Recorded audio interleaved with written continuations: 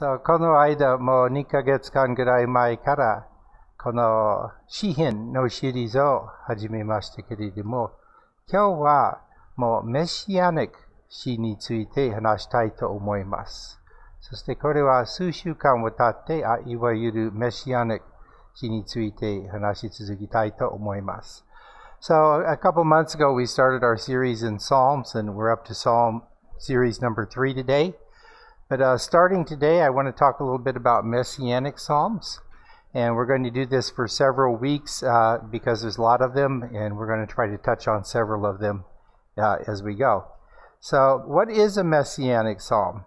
Well, Messianic Psalms are Psalms that refer to Jesus, to the Savior, to the Messiah, uh, written long before he came. And there, we know that a psalm is messianic if it's quoted in the New Testament, pointing to Jesus if we see that the apostles and the writers of the New Testament agreed that it was messianic, then we agree with them, of course. And also, some other Psalms have content that clearly is speaking about the Messiah to come, uh, but maybe isn't directly uh, pointed out in the New Testament or is, there's no clear quotation, but it's still part of that background. Messianic shi you do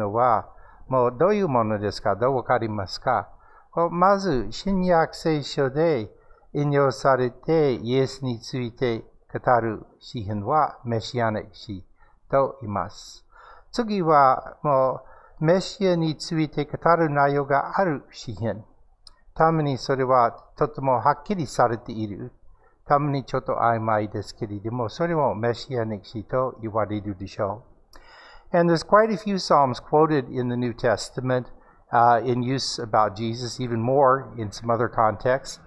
But uh, there's only about five that we would say that by content we look at as being messianic, even though they're not quoted in the New Testament. まあ、その、引用、イエスについての引用された詩篇は割に多いですけれども、もうご覧の通りですけれども、あの内容によってメシアニックと言われる詩篇はもう5つぐらいあるんですね。 それもみんなは賛成しているわけではないですね。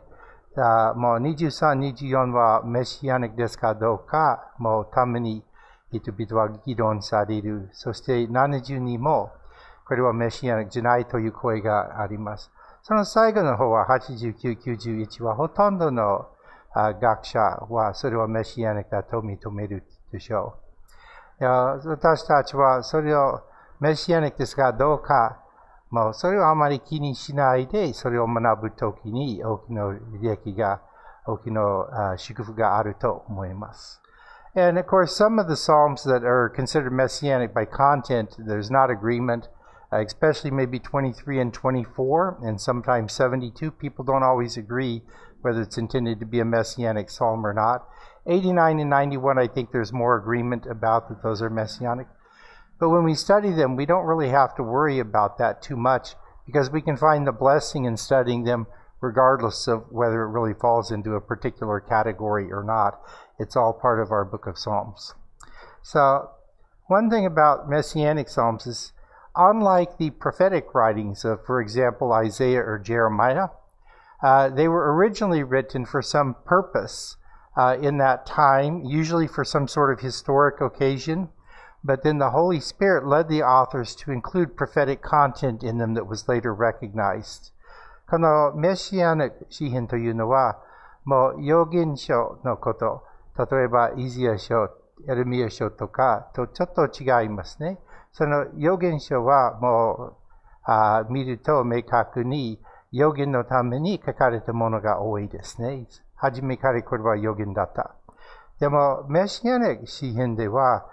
もう大体もともと歴史的な機会に使うために書かれていました。そして聖霊はその指示に予言的に、予言的な真実を含めるように導いてくれましたから、それは後で人々は分かるようになりました。これは予言的なもの、メシアニだというのです。今日は最初は詩篇2編見たいと思います。So today we'll look at Psalm 2 as our introduction to the Messianic Psalms. この詩篇はもう帝王詩と言われていますね。王に関わる詩篇ですね。そして、これは詩篇4章の方で、ダビデが作者と、作者であると示していますね。その詩篇のところに作者の名前はついていないですでも、使徒4章ではダビデだったとあります。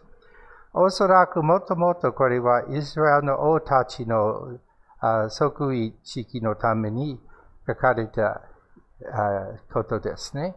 So Psalm 2 was, you know, it's a royal psalm, meaning it has something to do with the kings, you know, and things is related to that.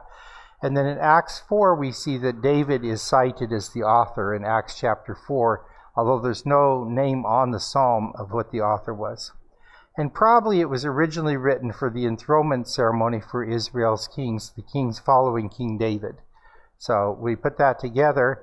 We say, well, if maybe it's written by David and it's written for the enthronement or coronation ceremonies, uh, maybe it was first used when Solomon became king. And we don't know that for sure, but it's a reasonable guess. So これはもう即位式のために書かれたダビによってできた詩篇だとすれば、これは多分初めにソロモンの体感式のところで救われたと想像ができますね。それは確かなことではありません。記録されていないでも、そうかなと考えられるでしょう。そう、これはソロモンの王になった即位のことはちょっと面白いです。それは、最初は列王記上で一節、一緒に、それはソロモン王は油注がれて次の王となるんですけども、その時は大きな式と大きな集会はありませんでした。それで、列大史上29章に、それを繰り返してもう一回公に行われた式があったんですね。多分、その2番目の式でこれが救われたかもしれないですね。It's a little bit interesting when Solomon becomes king because first, in 1 Kings chapter 1, he's kind of suddenly made the king. You know, he has the oil poured on him to be the king, and he's given the authority. Uh, but later, when things were calmer, it tells us in uh, the book of Chronicles, First Chronicles chapter 29, that they redid his coronation as a big public event. And that might be where this psalm was first used, I would imagine, although we don't know. Now, one thing, and we talked about this before, a lot of these psalms are written uh, for uh, public performance, you know, for a ceremony or for worship at the temple. And so they're divided into different voices or different people sharing. Instead of just having one person stand up and read the whole psalm, you might have three or four people, maybe even a little bit like a skit, uh, sharing in the reading. Now, that's also something we don't know for sure because it's not recorded historically, but when you look at the structure of the Psalms, many of them are clearly have multiple speakers in the way the psalm is structured. So, この詩篇にもう、この前に話されたことですけれども、この詩篇は、もう全部じゃなくて、でも多くの詩篇はどこかで公に使うためにできたものです。 神殿の礼拝で使うために、また式のために書かれたものもありますね。そしてその詩篇の内容を見たら、これはもう一人の人は朗読する形じゃなくて、もういくつかの声でいろいろ人はもう一節二節ずつ朗読したと想像できますね。それも記録されていないですけれども、その詩篇の構成を見ると、ああ、こうかなと思うところが多いですね。この詩篇2編もその一つですね。And of course, Psalm 2 is one of these. Uh, I looked at it and I divided it into four voices, and some people would divide it up differently. 私は詩篇2編を見て、もう4名の声に分けました。他の人はもうあ5つの人に5人に分けるかもしれませんとか、3年に分ける可能性もあります。でも、一人に、一人だけとしたら、ちょっとおかしいところが出てきますね。So I looked at Psalm 2, I divided into four voices. Somebody else might divide it into five or even possibly three. But you can see when you read it that if just one person reading it, it kind of flows very strangely because it's clearly that inside the psalm different people are talking. And the way I did it, somebody else might do it differently, is the narrator it reads at the beginning, and then the earthly kings, and then it's somebody representing God the Father, and then the anointed king, the new king, and then back to the narrator for the closing. So 私がしたのはもうあその最初と最後はネレーテであ朗読されて、2番目その地上の王たち、3番目 父なる神様を代表する人の声、そして4番目には油注がれた王、その新しい王の声、それともまたその代表が読む。最後にもう一回ネレーテに戻りますね。さあ、あまあ、その形で詩篇を読みましょう。ちょっと自由があったら4名を並べて、そのように読んでもらいたいと思います。でも、これはオンラインの礼拝のためにできています。カメラは一つですから、それはちょっと無理です。そして現代はソーシャルディスタンシングのことも考えますね。So if we had a little more freedom, I would like to arrange it so four people would come up and read it that way in sets, you know. But with uh, online worship and just one camera and with the social distancing, we won't do that. But think of it that way as we go, okay? そのように考えてください。あその前、ちょっとこれはその引用されたところは、もう新約聖書にありますね。使徒ヘブライ黙示録はこの詩の引用するのですね。And uh, first I'll note that the New Testament quotations of this psalm uh, you can find them in Acts and Hebrews and Revelation. So, じゃあ行きましょう。Let's go! Why do the nations conspire and the peoples plot in vain? The kings of the earth take their stand, and the rulers gather together against the Lord and against his anointed one. 何故国々は騒ぎ立ち、人々は虚しく声を上げるのか。何故地上の王は構い、 支配者は結束して、主に逆らい、主の油注がれて糧に逆らうのか。Okay. So here we see, you know, a, a, new king is taking the throne, and the surrounding countries or the kings that are under him are thinking of rebellion, right? Or they're thinking of grabbing the opportunity to take advantage of the new king. So このところは、もう新しい王が もう即位するときは、他の国は彼が有利をつかむと考えるかもしれない状態になりますね。この新しい王は、もうあまり経験のない王ですから、まだ知恵を持っていないかもしれない。チャンスをつかんで反対にする。その周りの国。そして次はその地上の王の声ですね。And next we have the, uh, the voice of those kings who are plotting rebellion. Let us break their chains, they say, and throw off their fetters. Warewa kasio hazushi, kite nage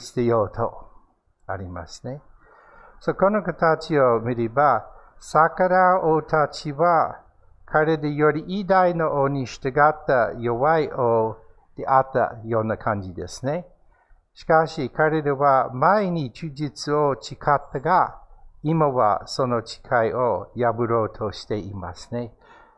その偉大な王から自由したい。And we look at this and we get the, the image sort of that these kings were the weaker kings under a greater king, and they swore allegiance maybe in the past to this king, but now they're going to rebel against it and reject the authority of the new king. The one enthroned in heaven laughs. The Lord scoffs at them. Then he rebukes them in his anger and terrifies them in his wrath, saying, I have installed my king on Zion, my holy hill. Te no oza to suru warai. Shu wa azukeri ikido te kyofu ni otoshi. Ikate kare ni sengin sariru. 聖なる山シオンで私は自らを即位させた。つまり、これは父なる神様の声、その代表ですね。この新しい王は私の意志で王座に座っていますので、反対してはいけないですよ。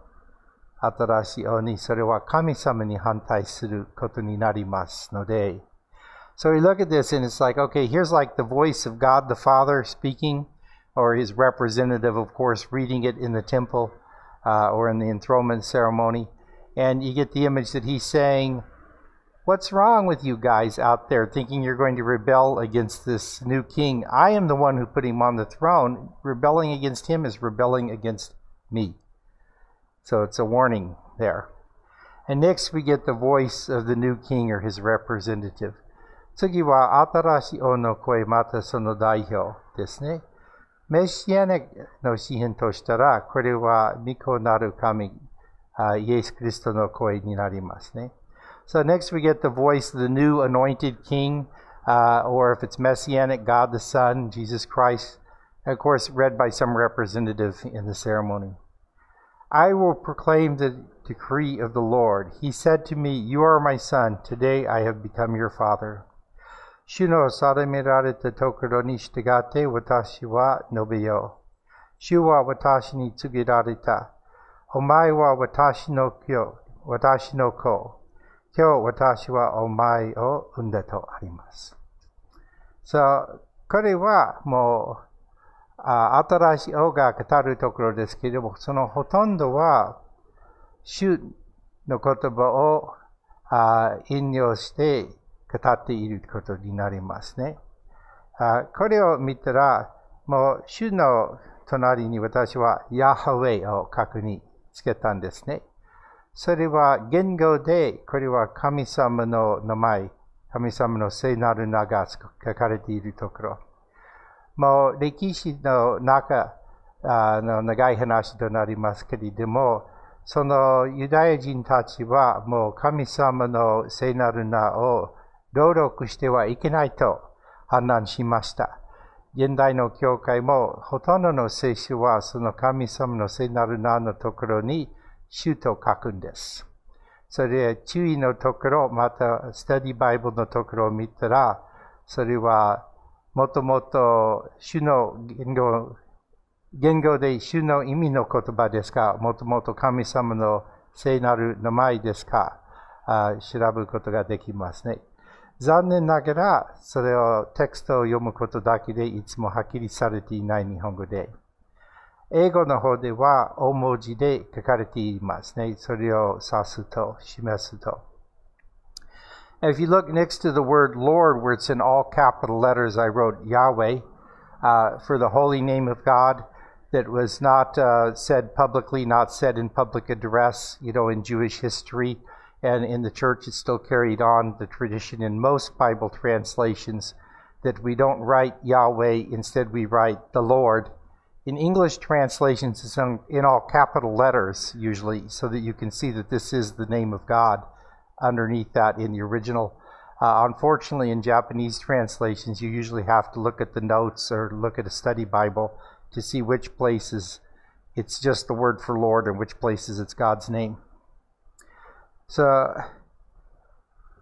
あもう一つですけれども、日本語の方では、私はお前を産んだとありますね。それは文字通りの訳ですね。今度の英語の訳はちょっと文字通りではありません。それはもうもちろん、その言葉は文字通り訳されていますでも、文字通り産んだというわけはないですね。その当時の文化の中で、その新しい位を下の人に与えるときは、それは私の子という言葉を使うことがありました。特に神様は預言者とか王を呼ぶときにあ私の子になるという言い方がありましてね。それとも、あ大王、大きな王は下の王たちを私の子ということもありました。And if you look at this, in English it just says, I have become your father. But the more literal translation is, I have begotten you, or I have given you birth. And that could be literal translation, but it doesn't mean literally that this person is born then. It means they're given a new mission or a new status or a new role at that point under the one who's making that determination. So, where a a, a great king appointed a smaller king under them, they would use, oh, this is my child. I, I've begotten this person. Or where God appoints a new king for Israel, this language appears. And of course, this is also the language that we get in the New Testament in reference to the Messiah, Jesus. まあ、引き続きます。そう、彼はその油注がれた王の声。 そしてメシアニックの解釈で、これはイエス・キリストの声となります。求めよ、私は国々をお前の修行とし、地の果てまでお前の領土とする。お前は鉄の杖で彼らを打ち、東方が器を砕くように砕く。And here in the, the voice of the newly anointed king, or in the voice of God the Son Jesus, if we are messianic interpretation, ask of me, and I will make the nations your inheritance, the ends of the earth your possession. You will rule them with an iron scepter, and you will dash them to pieces like pottery. そう、この言葉強いですね。ちょっと怖い言葉にもあります。This is a very strong word and, and it's almost a, a very frightening word. the idea here. Uh, the nations are the inheritance, and he's going to break them with an iron scepter. これはもう厳しいですね。国々はお前の修行となりましても、お前は鉄の杖で彼を打つ、砕くと、まあ、ちょっと怖いですね。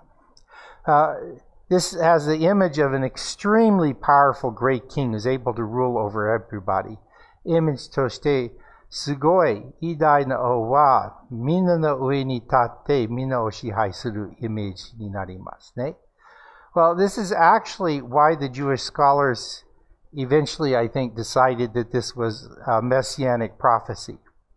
So 実は、このユダヤ教の学者たちは、この詩篇はメシアニック、予言的な詩篇だと判断したところは、この聖句だと思います。この言葉だと思います。なぜかと言いますと、その学者たちは、ダビデ系の王たちは、 こんなに強いものになれなかったので、これは将来のいつか、救い主メシアが来られる時に対しての予言だと判断しました。メシアニックだと判断しました。And the reason is that they decided it was messianic, I think, really is because the, the scholars looked at it, the Jewish scholars, and they say, we can see that in the line of David's, in David's line, the kings after him, none of them were ever this powerful or this great, able to rule all the other nations. So this must be a prophecy for something in the future. And eventually they decide it must be the, the great Messiah, the Savior who's to come. Uh, it must be a messianic psalm and a prophecy there. Uh, even though initially they might have thought the uh, king that was getting the throne was going to become that powerful. They learned, of course, that was not so. So the Jewish scholars decided it was messianic. And then, of course, we know it's messianic because the New Testament authors quote it as messianic. And here, most New Testament scholars, I think, would say this is actually a prophecy about the end times and Jesus' second coming. And that's really the way it's treated, particularly in Revelation 19:15. そう、それでユダヤ教 の学者たちは、イエスの時代の前にも、これはメシアニックの予言の言葉と認めていて、もう、新約聖書で、この詩篇は7回引用されていることで、私たちはこの詩篇はメシアニックだとすぐわかります。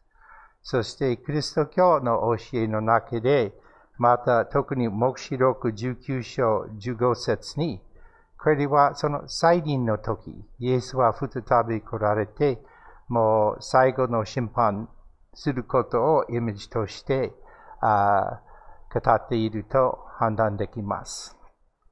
Okay.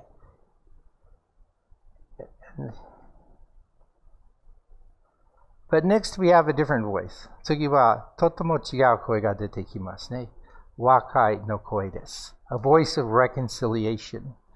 And some scholars think that this voice of reconciliation really represents the Holy Spirit coming in and interceding and bringing a peace or a reconciliation. そしてある学者はこの和解の声はやっぱり精霊の声、精霊は新しい和解させて 平和を与えるところだと解釈します。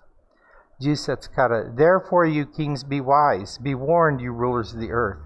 Serve the Lord with fear and rejoice with trembling. すべての王よ、意や目覚めよ。地を治める者よ、悟しを受けよ。恐れゆまって主に使い、おののきつつ、喜び踊れ。とありますね。あ、知恵を持って従って喜びをいただくとありますね。If you're obedient, if you're wise and obedient and serve the Lord, you'll have rejoicing. And the word fear comes out, you know. Well, of course, you can't make light of the Lord. You can't uh, just ignore Him. So there has to be some element of fear in a sense, but there is joy in serving God. この恐れという言葉もあります。それは恐れることですけど、恐れ冬まって、それは何という意味もう主なる神を軽んじて割れない。 はならないね。主の、あ主なる神を軽んじてはならない。まあ、もちろん。神に仕えると喜びをいただきますね。その意味、恐れと喜びは一緒に語っています。もう一つですけれども、この Lord の徳は Yahweh とありますね。主の徳は Yahweh。Uh, where it says the Lord, that's another place where we get the holy name of God, Yahweh. So it's saying, serve the Lord God, God、主なる神に従って使えるのですね、このところ。あじゃあ、次は、12節は最後の聖句ですね、この詩篇。Kiss the Son, lest he be angry and you be destroyed in your way, for his wrath can flare up in a moment. Blessed are all who take refuge in him. 子に口づけせよ。主の憤りを招き、道を失うことのないように、主の怒りは瞬く間に燃え上がる。生きに幸いなことが、主を先どころとする人はすべて。そこのところは興味深いなのは、多分この構成で、この最後の方、主を先どころとする人は、これはその前の子に口づけせよ。この子は主となるのですね。その構成で。それはもう御子なる神様を先どころとするとありますね。そして私たちはクリスチンとしてその経験があるでしょう。私たちはもう自分は罪深いものだと認めてイエスのところに行って願うとイエスの十字架上の見業によって私たちは罪の許しをいただき救いをいただく。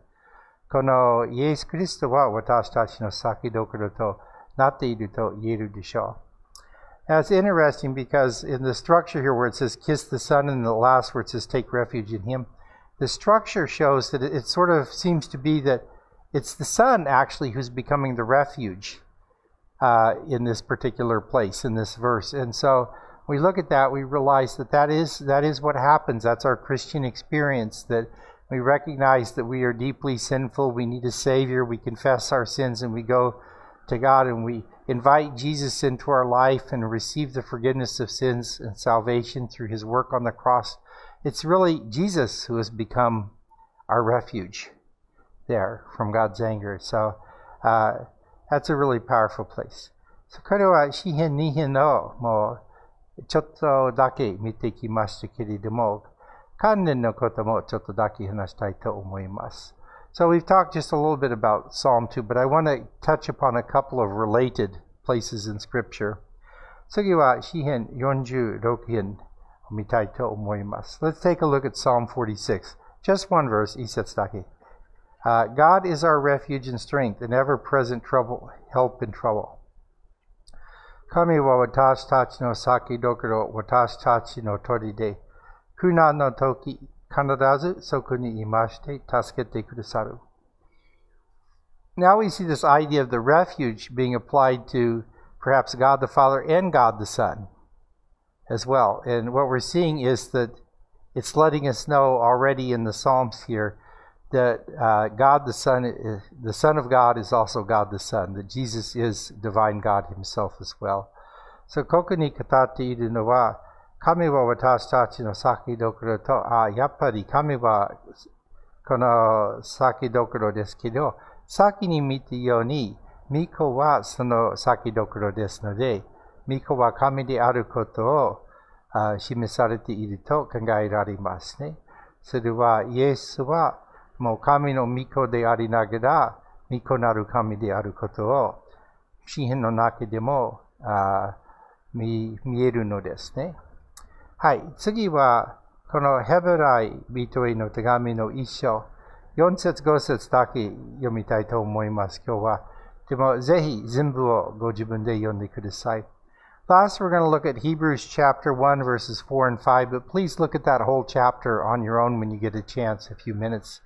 The author of Hebrews in chapter 1 is explaining how we recognize that Jesus is, uh, you know, the great God the Son, the Savior, you know, how we know who he really is. And he uses many quotes from the Old Testament and from the Psalms in particular in Hebrews chapter 1. And one of the quotes that he uses, uh, the author of Hebrews uses, is the one that we just saw in Psalm 2, where it says, You are my son, today I have become your father. そこれはぜひ全部を一生をご自分で読んでください。味わってください。これはそのヘブライ人への手紙の作者は、イエスは偉大、神の御子、神であると語っているところ、それを証明するために多くの旧約聖書からの引用の言葉を使って、そして今日与えた詩篇2編から、その あなたは私の子、私は今日あなたを産んだところと、もう、あそれは引用されていますね、このところ。じゃあ、読みましょう。So he became as much superior to the angels as the name he has inherited is superior to theirs. For to which of the angels did God ever say, You are my son, today I have become your father, or again, I will be his father, and he will be my son? 巫女は天使たちより優れたものとなられました。天使たちの名より優れた名を受け継がれたからです。一体神はかつて天使の誰に、あなたは私の子、私は今日あなたを産んだと言われ、さらにまた私は彼の父となり、彼は私の子となると言われたでしょう。そ彼はもうイエスは本当に御子である神様のあ御子であると御子なる神様を語っているところ。そのためにもういろいろな教派、異端のような教派は、イエスはもう神様じゃなくて、イエスは何か何か偉い偉大な天使のようなものだと語っている。そのようなグループもありますね。それは本当のクリスト教ではない。そしてこのこのヘブライの一章を見たら、イエスはすべての天使たちよりずっと偉大なお方であるは示されていますね。それはすぐわかります。So there are, there are some groups, some sects out there, you know, that are not really Christian, but they say they're Christian, who will come along with teaching about, well, Jesus isn't really, you know, God the Son. He's really just a great angel who's come to fulfill this role, you know. But we know immediately when we look at Hebrews chapter 1 that Jesus is far greater than any of the angels.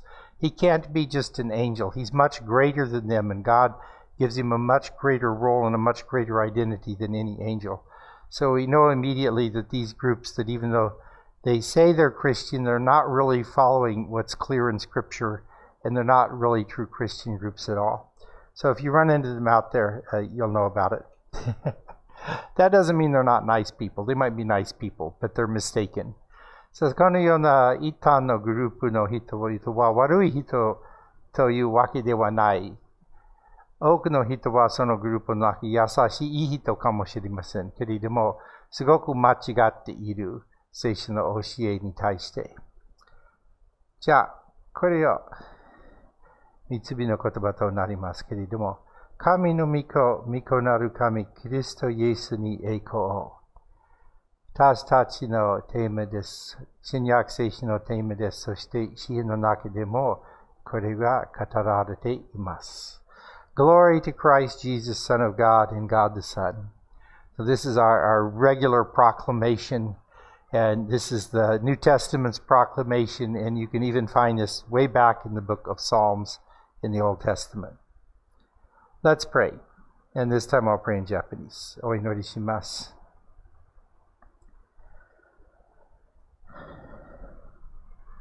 愛する主、父なる神様、創造主である神様、恵みを私たちにお与えください。私たちはすでにあなたの恵みを必要としています。あなたの罪の許しを必要としています。どうか恵みを注いで祝福を与え、一人一人の上に豊かに。今日私たちはちょっとだけ詩品から学びましたけれども、これもあなたの御言葉であって、私たちがこれをちゃんと理解ができるように助けて導きと願います。この頃、ニュースデーとか、新型コロナの恐れが書かれていますけれども、私たちはあなたをよりどころとして、あなたの恵みを信頼して、あなたの約束を信じます。私たち一人一人があなたの恵みをいただき、イエスとの出会いがあって、イエスと共に歩むものとしてくださいますように。そしてイエスと一緒に歩んでいく道で多くの祝福、平安と守りをお与えください。ここに集まって人々をはじめ、オンラインで聞いている人にも、そしてこの町のすべての人々に、あなたの守り、あなたの祝が与えられますように。私たちはあなたを褒めてたえます。あなたの御業を感謝します。イエスの皆によってお祈りいたします。アーメン。